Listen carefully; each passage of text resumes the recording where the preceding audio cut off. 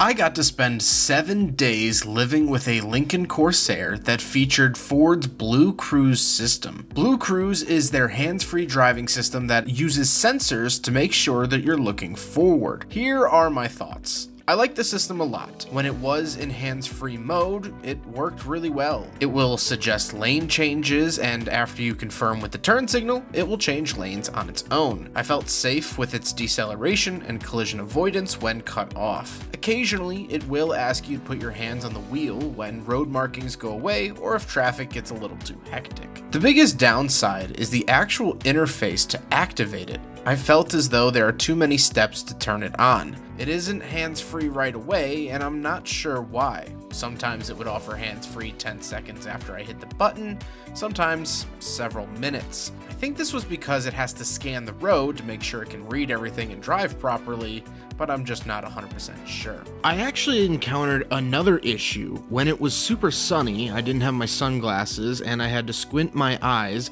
and the car kept thinking that I was looking away from the road and canceling the blue cruise. Now, if you have sunglasses on, it can read through the sunglasses and you're fine, but if you have very light eyes like me, it might think that you're looking away if you squint too hard. Overall, the system works as intended, and I felt very comfortable with the driving the car did in hands-free mode. If tech stays the same forever, I would be happy, although I know it will only get better.